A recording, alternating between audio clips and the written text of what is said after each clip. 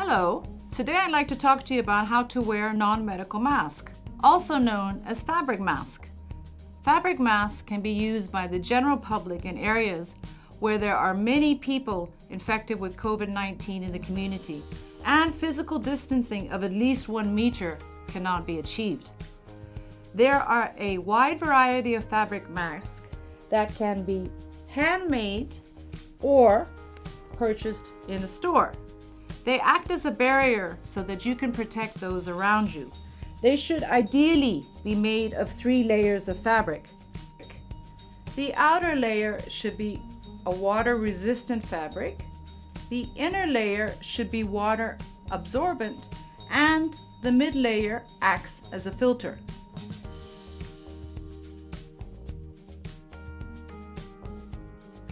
First, clean your hands with alcohol-based hand rub or soap and water. Pick up your clean mask and inspect it. If it is damaged or dirty, do not wear it. Place the mask on your face, covering your nose, mouth, and chin, making sure there are no gaps between your face and the mask. Do not touch the mask while wearing it to avoid contamination. If you accidentally do, clean your hands. Before touching the mask, clean your hands with alcohol-based hand rub or soap and water.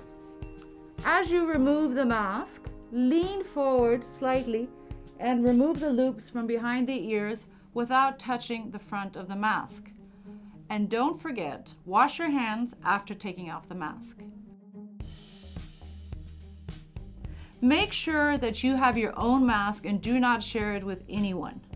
If your fabric mask is not soiled or wet and you need to reuse it, you can store it in a clean plastic resealable bag such as this one. However, if it is dirty, do not use it Wash it with soap and water, preferably at high temperatures after each day of use. Remember, a mask alone cannot protect you from COVID-19. It must be combined with protective measures, including maintaining at least one meter distance from others and washing your hands frequently. Stay safe and help prevent the spread of COVID-19.